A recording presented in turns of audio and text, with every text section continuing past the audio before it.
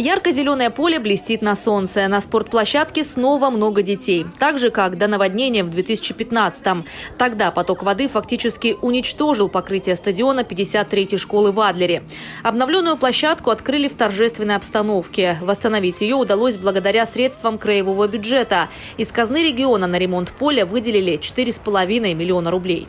Мы э, работаем над исполнением нацпроекта э, долголетия. И естественно, что самая главная составляющая всех нацпроектов – это как раз и есть спорт, который может увеличить и качество жизни. Поэтому мы, конечно, очень рады каждому событию. И мы очень рады, когда появляются все новые и новые спортивные объекты. После ремонта две с половиной тысячи детей теперь снова могут заниматься спортом на стадионе. Гандболом, легкой атлетикой и футболом. В 53-й школе развитию физкультуры уделяют особое внимание.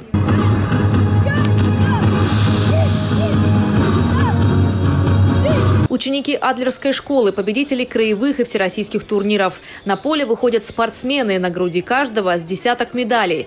70% из этих ребят занимаются в секциях, не покидая школьных стен. Мы безумно счастливы. Этот стадион, на мой взгляд, стал еще лучше, чем был.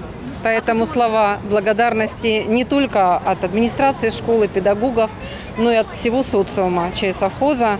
Мы счастливы и благодарны. Техническое состояние спортобъектов – один из важнейших для города вопросов, отмечают в мэрии. Из казны города на ремонт и благоустройство площадок для физической активности каждый год выделяют значительные суммы. Город уделяет огромное внимание спортивным объектам. В этом году из муниципального бюджета нам выделили деньги на благоустройство трех стадионов, деньги в э, размере 14 миллионов на три стадиона и на ремонт 13 э, спортивных площадок 16 миллионов. Всего же в Сочи учреждениях образования 5 стадионов, 76 спортплощадок и 93 спортзала. Благодаря такой материально-технической базе в Сочи спортом занимаются более 36 тысяч детей.